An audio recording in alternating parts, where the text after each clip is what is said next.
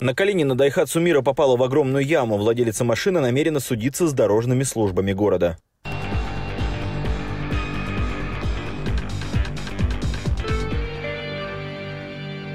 Девушка на автомобиле Дайхатсу Мира двигалась с Черемуховой по Калинину в сторону улицы 40 лет в ЛКСМ. В районе общественного транспорта Пески попала в огромную яму. Дайхатсу получил серьезные повреждения, из машины вытек тосол, и, как итог, она утратила способность к самостоятельному передвижению.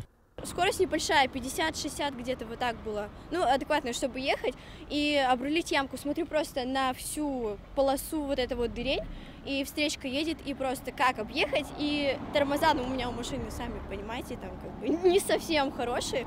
Ну, затормозила сколько смогла, скинула скорость, ну, до 20, наверное, и просто такой резкий обрыв, и все, она начала тарахтеть, я растерялась, ну все, отъехала, заглушила ее, потому что не знала, что делать. Девушка осмотрела машину, а когда поняла, что железо не на ходу, испугалась. Затем позвонила в городскую ГИБДД, чтобы полицейские приехали, начертили схему происшествия и обязательно составили акт УДС.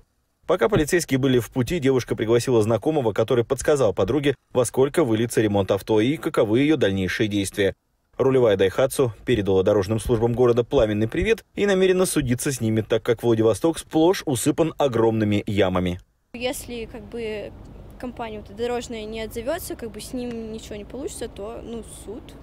Потому что я устала уже от этих ям, это прям все. И все закончилось, моя энергия закончилась, терпение тоже. Огромная выбоина, которая расползлась практически на две полосы, ничем не огорожена. Автомобилистам, проезжающим в районе 23-го дома по улице Калинина, стоит быть внимательными, особенно ночью.